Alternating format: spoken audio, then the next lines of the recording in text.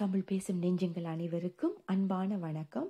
இன்னைக்கு ரவை கேக் எப்படி செய்கிறதுன்னு தான் இந்த வீடியோவில் நாங்கள் பார்க்க போகிறோம் அடுப்பில் எப்படி நாங்கள் இதை ஈஸியாக செய்யலாம்னு தான் நாங்கள் இப்போ இந்த வீடியோவில் பார்க்க போகிறோம் எப்படி செய்கிறதுன்ட்டு பார்ப்போம். வாங்க.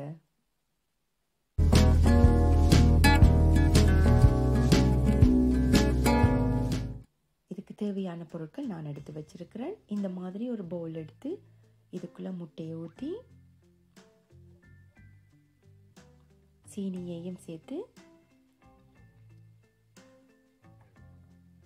இதோட வனிலாவையும் சேர்த்து நாங்கள் இப்போ பீட் பண்ணோனும் இந்த சீனி கரையிற வரைக்கும் நல்லா ஹை ஸ்பீட்லேயே நாங்கள் இதை பீட் பண்ண போகிறோம்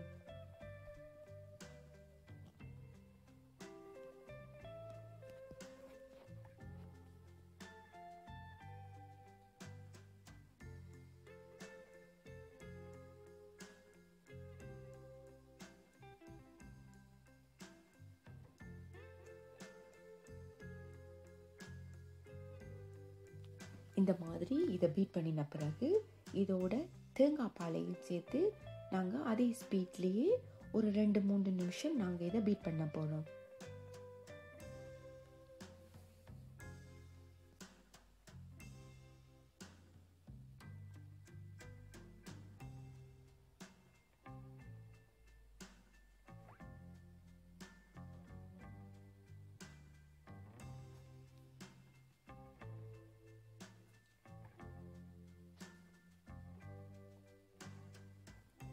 இதை நல்லா இப்போ பீட் பண்ணின பிறகு இப்போ எடுத்து வச்சிருக்கிற இந்த வறுத்த ரவையை நாங்கள் இப்போ இந்த மாதிரி தூவி கரண்டியால் நாங்கள் இதை ஒன்று சேர்க்கணும்.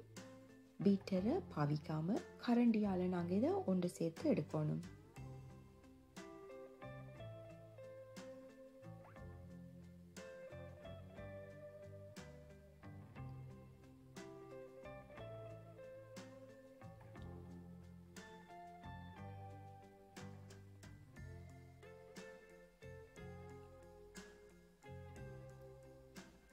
இந்த மாதிரி ஒரு தனித்தன்மையான பதத்தில் நாங்கள் இப்போ இதை எடுத்து வைக்க போகிறோம் அப்போ தான் இந்த ரவை நல்லா ஊறி வரும்.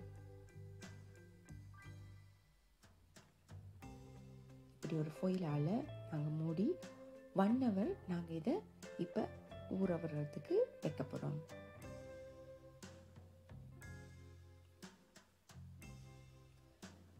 ஒன் ஹவர் கழித்து இந்த மாதிரி பார்த்தா இது ஒரு திக்கான தன்மைக்கு இந்த ரவை வந்திருக்குது உரி இப்போ நான் இன்றைக்கி நான்ஸ்டிக் தான் இன்றைக்கி நான் எடுத்திருக்கிறேன். இதை வந்து லோ ஹீட்லேயே நாங்கள் இதை வச்சுருக்கணும். அப்போ தான் இது உள்ளுக்குள்ளால் நல்லா வேகி கீழால் கருகாத மாதிரி நாங்கள் இறக்கக்கூடியதாக இருக்கும்.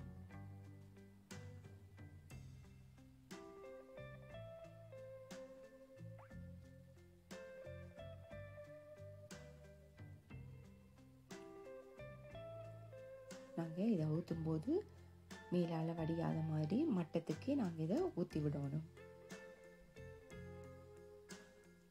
ஈஸியாக செய்யக்கூடிய இந்த ரெசிபி பத்து நிமிஷத்துலேயே நாங்கள் இதை தயார்படுத்திடலாம்.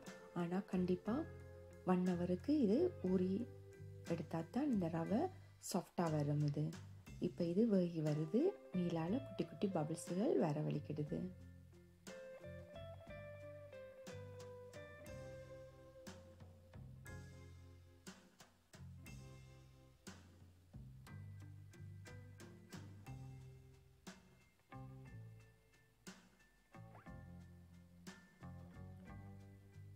இது மற்ற சைட்டுக்கும் திருப்பி ஒரு நிமிஷம் நாங்கள் இதை வேகிறதுக்கு விடணும்.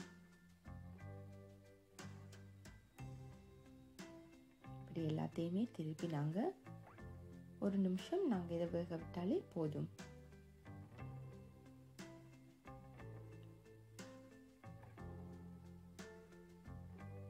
இதை வந்து இறக்கின பிறகு இதை நல்லா ஆறின ஆற விட்டு தான் நாங்கள் இதை சாப்பிடணும். சூட்டோடு சாப்பிட்டா களி மாதிரி இருக்கும்.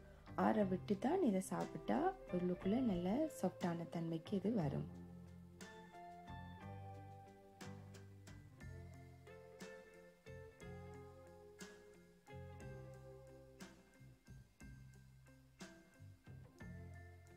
இப்போ இது நல்லா ரெண்டு சைட்டும் வேகிட்டுது. இப்போ நாங்கள் இதை வேற ஒரு பாத்திரத்தில் எடுத்து வைப்போம்.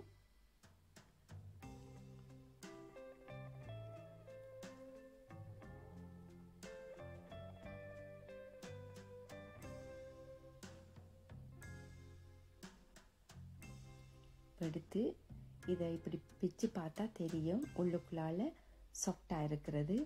இந்த மாதிரி நீங்களும் ட்ரை பண்ணி பாருங்கள் உங்களுக்கு பிடிச்சிருந்தா மறக்காமல் இன்ஸ்டா டியூப்பை சப்ஸ்கிரைப் பண்ணுங்கள் லைக் பண்ணுங்கள்